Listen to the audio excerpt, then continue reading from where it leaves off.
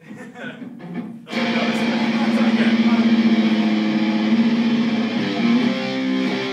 you know me? I'm the new brother.